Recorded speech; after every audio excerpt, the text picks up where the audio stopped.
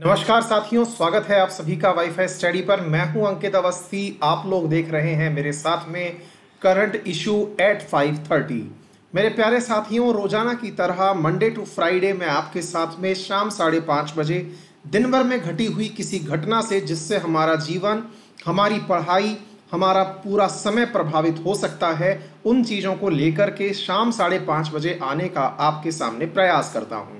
आज इसी क्रम में आप लोगों के साथ में जिस सूचना को लेकर मैं उपस्थित हुआ हूँ, उससे संभवतया हमारा जीवन और हमारी पढ़ाई अवश्य प्रभावित होती है। साथियों, आज प्रधानमंत्री और मुख्यमंत्रियों के मध्य की तीसरी या चौथी कॉन्फ्रेंस जो वीडियो कॉन्फ्रेंस थी, वो खत्म हुई। इस बात को लेकर के खत्म हुई कि क्या लॉकडाउन को आगे बढ़ाया जाए। अर्थात, जो लॉकडाउन दूसरी बार लागू किया गया था, जो तीन मई तक खत्म होने वाला था, क्या इसे आगे बढ़ा करके लॉकडाउन 3.0 शुरू किया जाए। इस क्रम में आज मुख्यमंत्री और प्रधानमंत्रियों के बीच हुई जो बैठक थी, जिसमें वीडियो कॉन्फ्रेंसिंग के माध्यम से प्रधानमंत्री ने देश के सभी राज्यों के मुख्यमंत्रियों से बात करके इस बात का अंदाज़ा लगाने का प्रयास किया कि हर राज्य अपनी स्थिति से निपटने के लिए कितना मुस्तैद है, कितना तैयार है। चूँकि हमारा जीवन, हमारी पढ़ाई इस सारे लॉकडाउन से प्रभावित होती है, इसलिए मैं आपके सामने यह खबर आज ही की मीटिंग की ब्रीफिंग आपके सामने अभी लेकर हाजिर हुआ हूँ। आइए देखते हैं क्या है इसमें खास, लेकिन इससे पहले आप लोगों के लिए ज़रूरी सूचना है ज़रूरी सूचना में यह है कि कल सुबह 10 बजे अन अकेडमी पर होने वाली स्पेशल क्लासेस में इंडियन इकोनॉमी शुरू होने जा रही है। यदि आप बैंकिंग की तैयारी करते हैं तो आपके लिए यह सेशन बेहद लाभप्रद होने वाला है। इसके अतिरिक्त रेलवे एसएससी यूपीएससी आप जिस भी एग्ज़ाम की तैयारी करते हैं उसके लिए आपको यह सेशन बेहद लाभप्रद होने वाला है। इसे प्राप्त करने के लिए आप अन अकेडमी के एसएससी सेक्शन में जाकर के स्पेशल क्लास सेक्शन में जाके बिना किसी फ़ीस दिए इस सेशन को देख सकते हैं। इसके अतिरिक्त, यदि आप चाहते हैं कि आपकी ज्योग्राफी बहुत अच्छी हो जाए, अगर आप चाहते हैं कि आपकी ज्योग्राफी में मैपिंग वाला जो पार्ट है वो आपका एकदम स्ट्रांग हो जाए तो मेरे द्वारा एसएससी सेक्शन में पेड क्लासेस में, यानी कि प्लस क्लासेस में आप लोगों के लिए मैपिंग के थ्रू एसएससी में वर्ड ज्योग्राफी चल रही है। अगर आप मैपिंग दुरुस्त करना चाहते हैं इंडिया का मैप और वर्ल्ड का मैप अपने टिप्स पर करना चाहते हैं तो मेरा रेफरल कोड है अंकित टेन जिसका यूज़ करके आप मेरी क्लासेस एक्सेस कर सकते हैं। इतना ही नहीं ज्योग्राफी के अलावा पॉलिटी इकोनॉमी हिस्ट्री ये भी मैं सभी चीज़ें डिटेल में पढ़ाऊँगा फॉर एनी एसएससी एग्ज़ाम फिर चाहे सीजीएल हो सीएचएसएल हो जेई हो स्टेनो हो फ़ेज़ एट हो MTS हो किसी भी एग्ज़ाम के लिए आप पढ़ें, मेरे द्वारा ये सारा सभी सफिशियंट कंटेंट आप लोगों को प्रोवाइड कराया जा रहा है। लेकिन ध्यान रहे, ये सेशन उन्हीं लोगों के लिए है जो अपनी तैयारी शुरू कर रहे हैं। वो लोग जो पहले से तैयारी कर चुके हैं, वो फिर भी इस सेशन को छोड़ सकते हैं। क्योंकि यह सेशन ज़ीरो से हीरो बनाने वाला है, यानी बेसिक से लेके एकदम अपर एलिमेंट तक ले जाने वाला सेशन है। इसमें अगर आप चाहते हैं कि आपको प्रीवियस वीडियो भी मिले तो वो भी उपलब्ध हो जाएँगे। सारा कंटेंट जो है वो आपके लिए मल्टीपल टाइम डाउनलोड करने लायक स्थिति में होगा और दोनों ही भाषाओं में आपके लिए कंटेंट उपस्थित होगा। इसके अतिरिक्त इसी रेफरल कोड से आपको मैथ्स की रीजनिंग की और इंग्लिश की क्लासेस भी मिल जाएँगी। आइए देखते हैं क्या रही है खबर। उससे पहले आपके सामने कुछ ज़रूरी फैक्ट्स मेरे प्यारे साथियों, जैसा कि आप सभी को मालूम है कि आजकल कोरोना के बारे में जितने भी फैक्ट्स हैं, वो सारे फैक्ट्स आजकल भारत सरकार द्वारा जारी किए जाते हैं। इन्हीं फैक्ट्स के क्रम में आपके सामने जो आज बातें लिखी हुई हैं, यहाँ पर आप ध्यान से देखने की आवश्यकता है कि मैंने जो आपके सामने डेटा शेयर किया है, यह डेटा 27 अप्रैल का डेटा है और आजकल भारत सरकार के द्वारा ही कोविड 19 के डेटा प्रकाशित किए जाते हैं। आप भी चाहें तो इसे जाकर के ढूंढ सकते हैं। Ministry of health and family welfare ये गवर्नमेंट की वेबसाइट है, और आजकल कोरोना से जुड़े हुए सभी मामलों में अपडेट इसी वेबसाइट के माध्यम से आप तक प्रसारित किए जाते हैं। मेरे प्यारे साथियों, आज लॉकडाउन का थर्टी फोर्थ डे है। और इस समय पर कितने लोग सही हुए, कितने बीमार हुए, इन सभी चीज़ों के बारे में यहाँ पर सारी चीज़ें आपके सामने दिखाई जाती हैं। साथियों, ये भारत सरकार की वेबसाइट है और यह रोज़ाना अपडेट होती है। सुबह के अपडेट के अनुसार भारत में इस समय बीस एक्टिव केसेस हैं। ये according to ministry of health and family welfare है।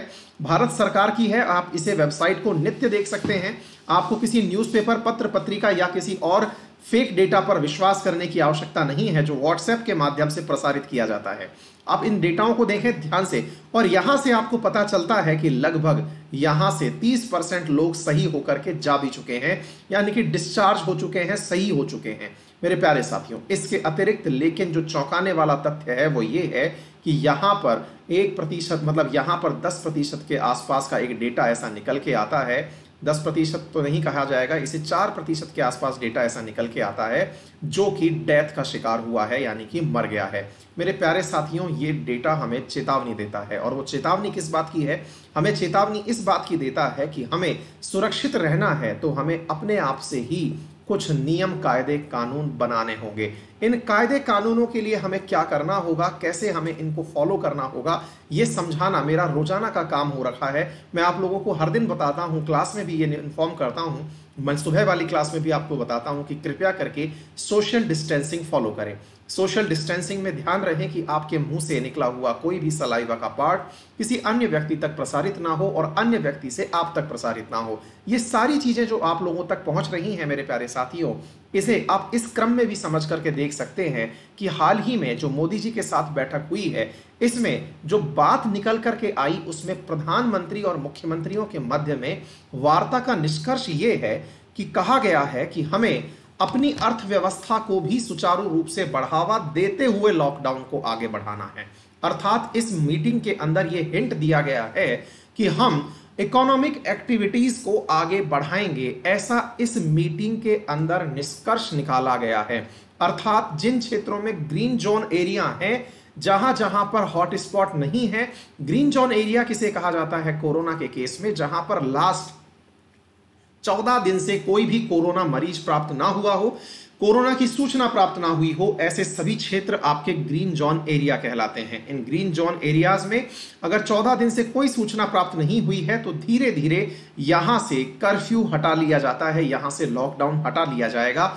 ऐसा एक हिंट प्राप्त हो रहा है तीन मई के बाद से। नंबर एक लेकिन यहाँ पर प्रधानमंत्री मोदी जी ने लगभग नौ मुख्यमंत्रियों से कॉन्फ्रेंस के थ्रू बात की, जिनमें से चार मुख्यमंत्रियों ने यही कहा कि वो चाहते हैं कि लॉकडाउन तीन मई के बाद भी बढ़े। इनमें से एक राज्य वो भी है जिसको आप सुन के आए हैं। इवन दो राज्य कहूँ तो बेहतर होगा। जिन्होंने अपने यहाँ पर कोरोना मुक्त होने का परचम लहरा दिया है। याद करिए, मैंने कुछ ही दिन पहले आपको करंट की क्लास में पढ़ाया है कि गोवा हाल ही में कोरोना मुक्त राज्य बना है। गोवा जो कि हाल ही में कोरोना मुक्त राज्य बना है, अर्थात वहाँ पर चौदह दिनों से कोई भी मरीज़ नहीं मिला है, ऐसी स्थिति में गोवा के मुख्यमंत्री के द्वारा भी यह कहा गया कि वे चाहते हैं कि तीन मई के बाद भी लॉकडाउन बढ़ाया जाए। अब यहाँ पर यह समझना बहुत ज़रूरी है कि जिन राज्यों में लॉकडाउन की परिस्थितियाँ लगाने जैसी स्थिति नहीं है, अर्थात जहाँ कोरोना पेशेंट नहीं है, फिर भी वो अपने यहाँ पर लॉकडाउन क्यों चाहते हैं? इसी प्रकार से मेघालय, मिजोरम और उत्तराखंड ने भी कहा कि वो लॉकडाउन बढ़ाना चाहते हैं। आपसे बड़ा सवाल ये बनता है कि आफ्टर ऑल ये राज्य ये क्यों कह रहे हैं कि हमारे पास कोरोना पेशेंट तो नहीं है, लेकिन हम फिर भी चाहते हैं कि लॉकडाउन बढ़ाएँ। इसी में सारा सार छिपा हुआ है। मेरे प्यारे साथियों, असल में इंपॉर्टेंट तथ्य यह है कि लॉकडाउन खुलते ही ट्रांसपोर्टेशन शुरू हो जाएगा। ट्रांसपोर्टेशन शुरू होते ही गोवा एक ऐसा डेस्टिनेशन है जहाँ लोग घूमना जाना चाहते हैं। ऐसी स्थिति में यह संभव है कि गोवा में कहीं बाहर से चल के मरीज़ आ जाए, जिसकी परिस्थितियों पर नियंत्रण मुश्किल हो जाए। ऐसी स्थिति में एक रिपोर्ट यह भी प्रकाशित की गई है सिंगापुर यूनिवर्सिटी के माध्यम से, जिसमें कहा गया है कि लगभग 21 मई तक भारत के अंदर 97 परसेंट कोरोना के केसेस को क्योर कर लिया जाएगा। ऐसी स्थिति में अगर हम इन बातों को ध्यान से सुने और समझे तो हमें यह समझ में आता है कि कोरोना के मरीज़ जो कि सेल्फ इम्यूनिटी से सही होते जा रहे हैं, अगर भारत इस कम्युनिटी इस इम्यूनिटी को मेंटेन करते हुए अपने लॉकडाउन को प्रभावी तरीके से रखता हुआ आगे बढ़ता है तो हम कोरोना पर काबू पाने की स्थिति में हो जाएँगे। अब बड़ा सवाल बनता है तो इसका मतलब यह हुआ कि, सर जब ये राज्य डिमांड कर रहे हैं कि चार राज्यों ने कहा है कि बढ़े तो वहाँ तो बहुत सारे राज्य उपस्थित रहे होंगे। फिर बाकी राज्यों का क्या स्टैंड है? मेरे प्यारे साथियों, समय अभाव के चलते वीडियो कॉन्फ्रेंसिंग में केवल नौ ही मुख्यमंत्रियों को बोलने का मौका दिया गया। उनमें से चार ने तो स्वतः ही यह डिमांड किया कि वो चाहते हैं कि यहाँ पर उनका कोरोना का मतलब लॉकडाउन बढ़े और उन्होंने कहा कि वो केंद्र के निर्देशों का पालन करेंगे। ऐसी स्थिति में केंद्र सरकार के पास जो निर्देश, जो मैसेज पहुँचता है कम्युनिक मतलब संयुक्त रूप से जो मैसेज पहुँचता है, उसमें यही निकल के आता है कि राज्य चाहते हैं कि वो केंद्र के दिशा निर्देश में कार्य करें। नंबर एक अच्छा कई बार आपके दिमाग में ये सवाल आएगा कि कई बार राज्यों के माध्यम से ये जो सूचना प्रसारित होती है कि केंद्र के अनुदेश पर कार्य करेंगे, ये क्या है? मेरे प्यारे साथियों, राजनीति की भाषा में, पॉलिटिकल साइंस की भाषा में इसे सहकारी संघवाद कहते हैं कॉपरेटिव फेडरलिज्म कहते हैं, यानी ऐसा संघ जिसमें सभी राज्य आपस में मिलकर के अपने हित के बारे में निर्णय लेते हैं। यदि ये राज्य अपने यहाँ पर कहते हैं कि हमें लॉकडाउन नहीं चलाना है, हमें लॉकडाउन बढ़ाना है सॉरी तो लॉकडाउन बढ़ाने के उन्होंने अपने कायदे गिनाए। लेकिन इसी बीच में एक और जो मैसेज निकल के आया, जो कि मोदी जी के द्वारा अपने मुख्यमंत्रियों से कहा गया, वो ये मैसेज था कि आप लोग अपने यहाँ पर ग्रीन जोन एरियाज़ में इकोनॉमिक एक्टिविटीज़ शुरू कर सकते हैं।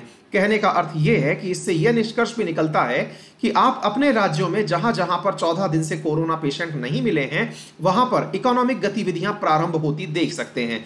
लेकिन जहाँ तक रहा सवाल इस बात का कि इंटर स्टेट जो ट्रांसपोर्टेशन है वो शुरू होगा या नहीं, उसके आसार आज की मीटिंग में बहुत कम नज़र आते हैं। हम लोग भी इस चीज़ के लिए मानसिक रूप से बिल्कुल दुरुस्त रहे कि यह सारा प्रयास जो किया जा रहा है, वो हम सभी देशवासियों के हित में किया जा रहा है। क्योंकि साथियों, आप लोगों ने आज ऐसी स्थिति को, ऐसी स्थिति का सामना किया है, जहाँ पर लगभग डेढ़ महीने के, चौंतीस दिन का जो लॉकडाउन हमने फेस किया है, और अभी करने वाले हैं लगभग डेढ़ महीने का लॉकडाउन इस लॉकडाउन के स्थिति में, मेरे प्यारे साथियों, हम सबने बड़ी दृढ़ता के साथ में कम्युनिटी स्प्रेड को रोका है। जिस कोरोना का फ़ेज़ थ्री एक्टिवेट होने ही वाला था, हमने शुरू होते ही उसे रोक दिया। कहने का मेरा अर्थ है कि जिस चीज़ के अंदर यह ना पता चले कि यह बीमारी कैसे फैली है, हम लोगों ने घर में बंद रह करके उस बीमारी को घर से बाहर ही छोड़ दिया। क्यों ना हम थोड़ी और तत्परता दिखाएँ और सरकार के अनुदेशों का पालन करें। संभव है कि हम सबकी सुरक्षा में निर्णय अत्यंत सकारात्मक लिए जाएँगे। अगर इकोनॉमिक एक्टिविटीज़ भविष्य में ओपन होती भी हैं तो उनमें हमारा ही हित होगा। हम किसी और अन्य व्यक्ति के साथ ना मिलें, कैसे इसी ऐसे इंसान के साथ ना मिलें, जिसकी मेडिकल हिस्ट्री जिसकी टूरिस्ट हिस्ट्री हम ना जानते हों तो वो हमारे लिए ज़्यादा स्वास्थ्यकर होगा। तो आज की मीटिंग का जो क्रक्स है, मैंने वो आपके सामने सरल भाषा में रखने का प्रयास किया, जिसका निष्कर्ष अगर मैं एक शब्द में कहूँ तो वो यही है कि तीन डाउन के तीन मई के बाद में होने वाला लॉकडाउन संभवतया लॉकडाउन तो नहीं कहलाएगा, लेकिन इंटर स्टेट ट्रांसपोर्टेशन और इंटर डिस्ट्रिक्ट ट्रांसपोर्टेशन को रोकते हुए इकोनॉमिक एक्टिविटीज़ को प्रारंभ करने की दिशा में एक कार्य होगा। यह भी संभव है कि हॉटस्पॉट क्षेत्रों में जो वर्तमान में रेड हॉटस्पॉट क्षेत्र हैं, उन्हें रेड से ऑरेंज और ऑरेंज से ग्रीन में लाने के लिए सरकार कोई नए दिशा निर्देश जारी करिए। कि करे, ये आपके लिए इंपॉर्टेंट तथ्य है। होपफुली आप सभी लोग इस पूरी बात से, जो कि छोटी सी ब्रीफिंग थी मेरे द्वारा, इससे आप तक मैसेज पहुँचाने में मैं सफल रहा हूँगा। मेरा नाम है अंकित अवस्थी, आप मेरे को टेलीग्राम पर, यहाँ पर फॉलो कर सकते हैं। मेरा टेलीग्राम ग्रुप है GK by Ankit Awasthi sir, जिस पर लगभग एक लाख विद्यार्थी जुड़े हुए हैं। आप भी जुड़ करके यहाँ पर, इसी प्रकार के नोटिफिकेशंस मेरे सभी वीडियो के नोटिफिकेशंस और क्लासेस के पीडीएफ प्राप्त कर सकते हैं। मेरा चैनल है टेलीग्राम पर अंकित अवस्थी सर के नाम से। आप मुझे यहाँ भी फॉलो कर सकते हैं। 23,000 यहाँ पर ऑलरेडी स्टूडेंट्स जुड़े हुए हैं। आप सभी का बहुत बहुत धन्यवाद। अगर आप वाईफाई स्टडी के थ्रू डिफेंस की तैयारी चाहते हैं तो वाईफाई डिफेंस सब्सक्राइब करें। यदि लाइव टेस्ट देना चाहते हैं तो वाईफाई लाइव टेस्ट सब्सक्राइब करें। अपने छोटे भाई बहनों के लिए अगर चाहते हैं कि वो नाइन्थ से लेकर ट्वेल्थ तक की पढ़ाई को बड़े सुचारू तरीके से करें तो अन अकेडमी पर नाइन्थ से ट्वेल्थ की सीबीएसई क्लासेस ज्वाइन करें। Thank you so much